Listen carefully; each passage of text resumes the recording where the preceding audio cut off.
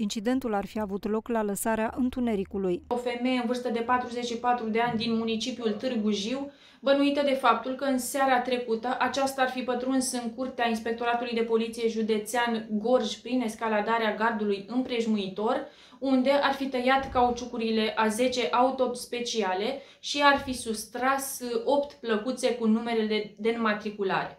În cauză se continuă cercetările sub aspectul săvârșirii infracțiunilor de distrugere și furt calificat. Polițiștii care erau de serviciu când s-a întâmplat incidentul sunt acum anchetați disciplinar. Femeia va fi prezentată unei comisii medicale pentru expertizare, iar în funcție de rezultat se vor lua măsuri legale.